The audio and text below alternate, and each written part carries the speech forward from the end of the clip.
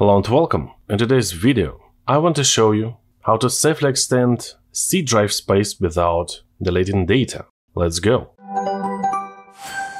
Many Windows users often encounter the problem of insufficient space on the C drive during daily use, which leads to slow system performance, inability to install new programs or updates, and negatively affects the overall computer experience. For example, in my case, I have two partitions. This is local disk C and local disk D. And as you can see, I have only 5 gigabytes of free space on local disk C, which is obviously not enough for Windows to run properly. So all we need is to extend the partition. How to do it? You can use Windows built-in tools, disk management for example.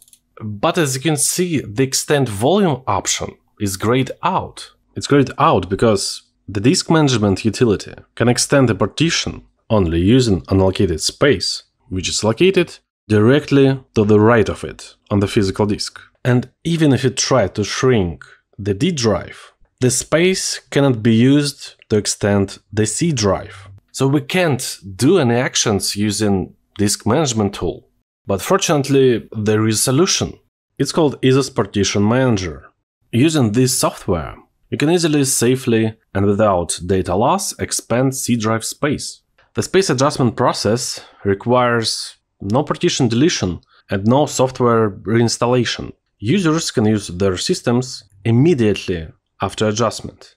No extra steps, making it ideal for users with large amounts of data and applications on their drives. To download the app, click here, free download.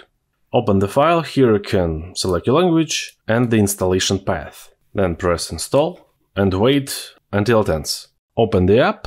Now you need to select your disk and partitions. In my case, this is disk 1 and local disk C. Also, as you can see on local disk D, I have some files. It's an image, it's an important document, and it's a video. In the app, I must select disk C, and as you can see, there is a message, insufficient free space in partition C. All I need is to click here, adjust. Here you can do manual adjustment. I can add more space or less. For example, let it be 200 gigabytes. Then press OK, then press execute one task, and the process will begin. Now wait until it ends. It's done. Now let's check our partitions.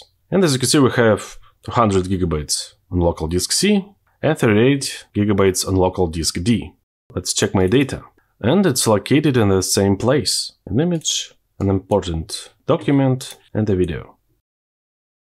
It's working great. It's very convenient because we don't have any reboots. Also, the app has other features. You can clone the whole disk, resize or move your partitions, format partitions, and delete partitions. To prevent insufficient space in the disks, you can also use Dup Files Cleaner. It will help you to find and remove duplicated files. Or you can use Clean Genius. It can clean up junk files and fix update issues. Here are some tips to have more free space on local disk C.